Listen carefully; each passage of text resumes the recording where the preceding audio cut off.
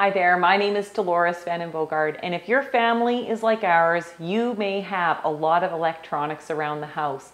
So really, how do you take care of your screens and your keyboards and making sure that you're, you're, they're nice and clean for everyone in the family to use? I'm gonna show you what we use. Um, I have this miniature EnviroCloth. Uh, these cloths, you make them wet and you fold them in half as many times as possible and then you just wring it out and get all the moisture out of the properties of the microfiber. Now with these products, you can use them for counters as well. You, it's not necessary to use any chemical cleaning products at all for maintaining your house. And you can also use these for wiping the face of your iPad. You can use it for wiping the face of your cell phones.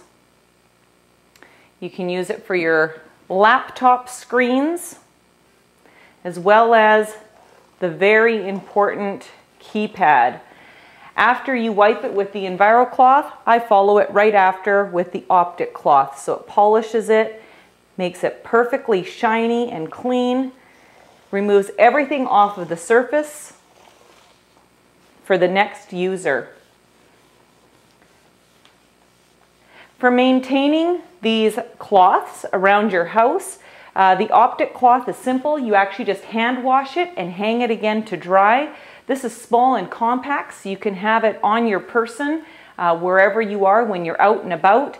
And as far as these little EnviroCloths go, they're actually sold in a set of four. They're very economical. You can send them to school with your kids in their lunch bags for wiping their hands before they eat snacks, uh, for wiping down your phone when you're out and about. You shake hands with people, you're opening and closing doors and touching shopping carts. We wash our hands regularly, but really, how often do we wash our electronics? You can also use these on remotes and telephones uh, just to give all your surfaces a fresh clean. So if you are already familiar with Norwex's products, I'm sure you have a fantastic distributor. But if you are not familiar on how you can use these products for your home and where to order them, send me an email and I'll tell you all about it. Have yourself a great day.